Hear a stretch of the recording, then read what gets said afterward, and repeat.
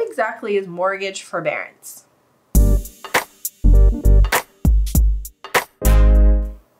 Hi, welcome back to my channel. If you're new here, my name is Samantha Pearlman and I'm a realtor located in central New Jersey. We're living in a lot of uncertain times right now. You turn on the TV to watch the news or you read an article online, it seems like almost every other article is talking about mortgage forbearance. So in this week's video, I'm going to be talking about mortgage forbearance in general terms, and then I'm also going to be referencing it specific to what's going on in the world today around the coronavirus pandemic. So what is mortgage forbearance? This means that your mortgage company or mortgage servicer has agreed to either suspend or drastically reduce your monthly mortgage payments for a specific amount of time. This allows you to deal with any short term financial challenges that you might have while you get back on your feet. Let me clarify this does not mean you live in the house for free. This is not a forgiveness of the money you owe. The lender still wants and is entitled to that mortgage payment for that length of time. Let's use three months as an example. No matter what happens, you still owe them that three months. The conversation really becomes more about what is the repayment of this money going to look like.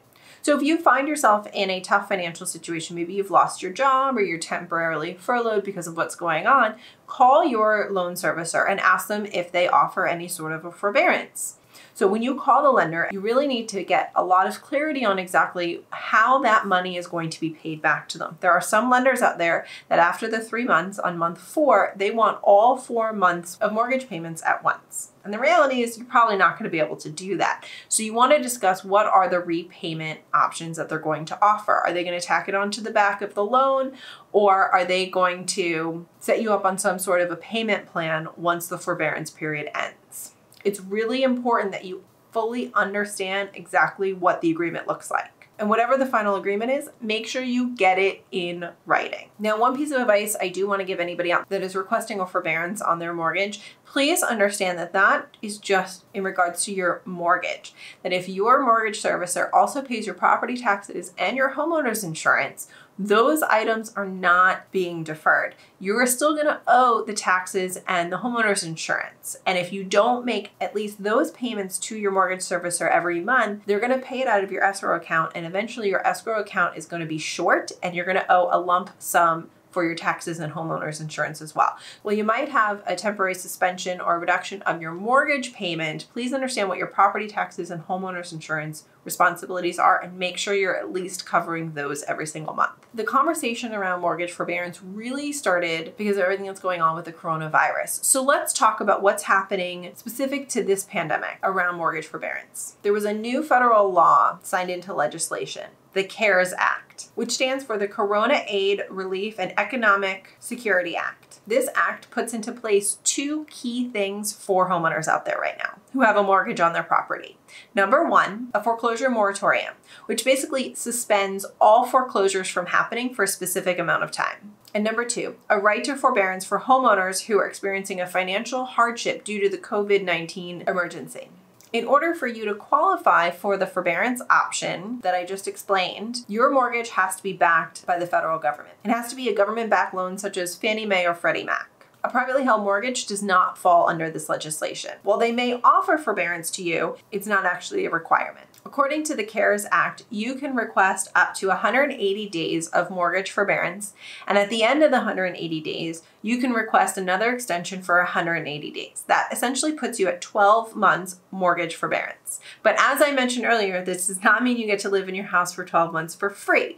You will still owe that money. That's why it's key to understand what the agreement you set forth with your lender is from the beginning. Because can you imagine paying all 12 months of mortgage payments at once? I don't know anybody that can do that. It also states in the legislation that during this time, there can be no late fees and no penalties tacked on for the borrower and it will not be reported to the credit bureaus. So, in theory, this shouldn't affect your credit at all. Now, if your mortgage is not backed by the federal government, you may still have options. You just have to call your servicer and ask. Now, what I will say about all of this is that if you can pay your mortgage, you should. You should still be paying it, or at least as much as you can. Call them and work it out. If you haven't lost your job as a result of this, let's say you're able to work from home successfully, keep paying your mortgage and stick to your agreement. You see, these lenders are getting tons and tons of phone call traffic with people who have real financial hardships that really need to be put into this forbearance situation. And if you don't, if you're still working and you're getting your regular income, well, then you should continue to make payments and follow the agreement that you already have in place and reserve the programs like this for the people that really need it. So, my piece of advice is if you are currently experiencing the financial hardship due to the virus, or you're at risk of developing a financial hardship either by being temporarily laid off or permanently laid off,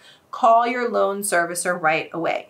This CARES Act does not mean that you can just stop paying your loan or just stop paying your mortgage and there's no ramifications. You have to set yourself up with a mortgage forbearance agreement because if you don't, if you just stop making payments and you don't call and you don't say anything, well, yes, they can't foreclose on you right now, but when this is all said and done and foreclosures can actually happen again, it's going to catch up with you. I suggest you call, you have the conversation, you ask, what do I need to do to apply for the forbearance and what does the repayment plan look like afterwards? Like I said earlier, you don't want to find yourself in a situation where you're going to owe multiple months all at the same time because really nobody can do that. Thank you so much for watching, and I really hope you found this information helpful.